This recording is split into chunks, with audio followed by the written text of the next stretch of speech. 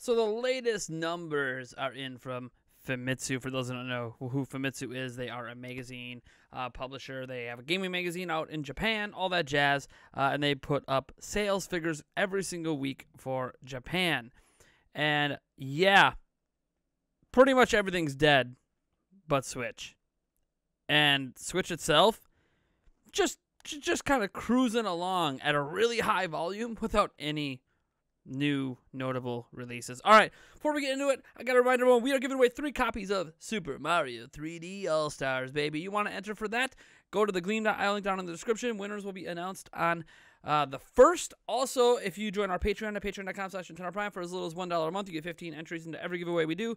Uh, we have a second giveaway as well for a Switch Lite and two Switch games of choice. Again, go down to the description. Big long list of ways to enter. All right, let's get into this. Now, as you're seeing here with the Famitsu sales list, we're first going to go over the software because at number one for consecutive weeks in Japan, the home country of Switch is Ring Fit Adventure, selling 43,459 units. It's actually a 32% decrease week over week, but that game is now over 1.5 million, man. Ring Fit Adventure just keeps giving and giving and giving. And I got to admit, having tried it myself, Ring Fit Adventure is pretty legit. I'm, I'm just saying. At number two, at number two, up from one spot last week, is Animal Crossing New Horizons. That game's almost at 5.7 million. It sold 31,000 units. Uh, after that, we get some Mario Kart 8 Deluxe action at number 3, moving 12,280 units. That is obviously over 3 million. Uh, we did have one new release for Switch this week. Well, I guess two, but this is the highest rated one. Uh, at number four, Minecraft Dungeons Hero Edition from Microsoft uh, at 11,450. Uh, at number five, we have Clubhouse Games 51 Worldwide Classics. Don't forget, that is a brand new game that came from Nintendo uh, this year. People don't talk about it as much as they probably should, but it sold 9,620 units. It is over the $350,000 uh, unit mark there.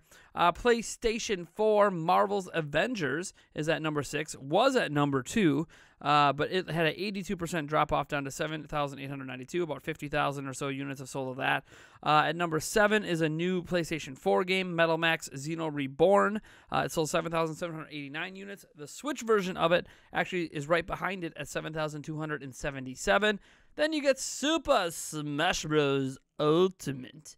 Uh, that game popping in at 6,761. It is almost to 4 million. It's, it's probably going to cross 4 million uh, at some point here in the next six months. Then you have Pokemon Sword and Shield chiming in with 6,492 units. That one is also likely going to cross 4 million units sometime in the next six months. Remember, there's DLC still coming for that this year, by the way.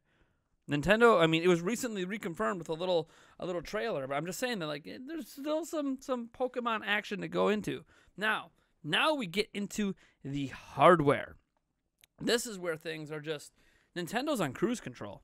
So, for those who don't know, in Japan, they're still doing lotteries at some retailers for Switch purchases, aka you put your name in a hat, they draw it out, and you get an opportunity to buy a Switch because they can't keep it in stock. It is selling out week to week. So when you see these numbers, this is basically how many units Nintendo could get into Japan that week. and right now, for this week, it's 83,920 units. 30,458 of those were Nintendo Switch Lites, whereas 53,462 were the red box, you know, normal Switch editions. Yeah, that's an increase over the 77,611 before uh, last week, and a 30,000, 32,000 to be exact, increase over last year at the same point. Year to date, they are at 3,773,514 units yeah, they're going to be over 4 million before we even get to October, which is a big deal. I mean, heck, Super Mario 3D All Stars isn't even out. Think about this. The, the, the, the sales data for this is uh, is the 7th through the 13th. So the next sales data is going to be, you know, the 13th through the 19th. That is going to include, you guessed it, Super Mario 3D All Stars. How do you how much you want to bet? That uh, these sales maybe double because Nintendo prepared for this launch, and we see 150 to 200,000 Switches sold. How many how, how, how many units do you think uh, you know Super Mario 3D All Stars is going to debut at in Japan? I mean, gosh, Are, are we looking at five hundred thousand? That's what I'm. That's what I'm going. I'm going with five hundred thousand for a debut in Japan, which is massive. Um, all right. Uh, so last year to date, we see they're almost uh, twice as much as the year before, and yeah, it's at 15 million. Now, I don't know if it'll ever catch 3DS. 3DS is still sitting there at that 24 million. They're not making 3DSs anymore. That means 8 million more Switches at the sell during the lifetime uh, in Japan. So we'll see. Um, th- there's definitely some hope that Nintendo can pull that off.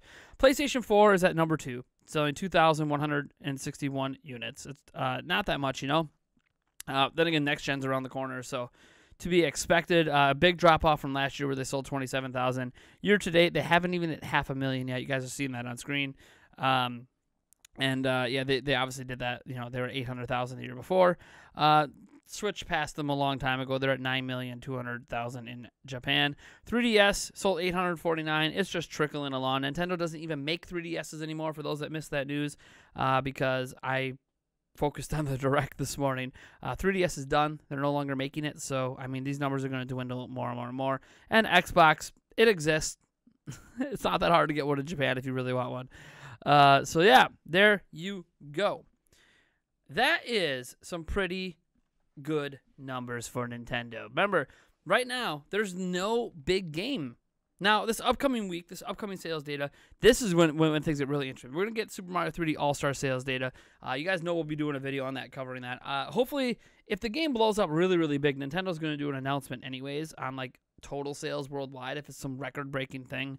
Uh, we don't know if it will be that, of course. Remember, the current fastest selling Switch game of all time is Animal Crossing New Horizons that came out earlier this year, where it sold like 10 million units in three days or something. It was insane.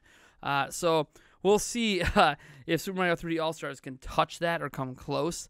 Uh, but it's definitely going to do big numbers. There's no doubt it's going to do big numbers because all of the pre-orders that are sold out, guess what? Uh, that all counts for day one sales. All that data goes into day one, let alone the retail units on store shelves. Uh, basically, I think Nintendo sold as many of these units as they could get out there, and we have digital sales to throw on top. So, yeah, it's it's going to be insane numbers next week. But yeah, for a week with no major new releases, 80,000 just chilling along, Nintendo can't meet demand. They just can't meet demand. And I don't know how they're going to meet demand in Japan the rest of the way because it doesn't stop. 3D All Stars, right, comes, right? You know, then Mario 35 at the beginning of next month. You got Pikmin 3 Deluxe. You have Age of Calamity. That's the next three months right there. And this isn't even counting third party games. There's going to be more third party games coming out as well during this span. So, yeah, Nintendo is sitting pretty. Let me tell you. Uh, Nintendo is sitting pretty, and I feel like this is exactly why they wanted to do that that uh, extra investors meeting was to be like, hey guys, like don't worry about us, we're good. Look at all of our Switch Online subscriptions. Look at our growth. Look at the money we're making. Like Nintendo didn't really suffer from this recession, other than the fact we haven't gotten a regular direct or an E3 direct because well, it didn't happen. Uh, and Nintendo obviously struggled in some areas, but it sounds like behind the scenes that a couple Nintendo games that were going to come this year have been pushed to 2021. Um, games that haven't been announced yet, and that happens. It's a pandemic, but I can't be mad with how the year's ending. 3D All Stars, Age of Calamity. I mean, potentially Bravely Default 2 in December. I, will take that. I mean, that, that that's a good end to the year, a solid end to the year. Anyways, I'm Nathaniel Robojans from Nintendo Prime. Let me know what you think about these Jap- Japanese sales. Do you want to see me continue to cover the sales every week, uh, or would you rather me just wait until uh, you know something big happens, like a launch of a game? I mean, next week we're clearly going to cover it because uh, hello, Super Mario 3D All Stars. Uh, but yeah, you guys let me know what you think. All right, bye.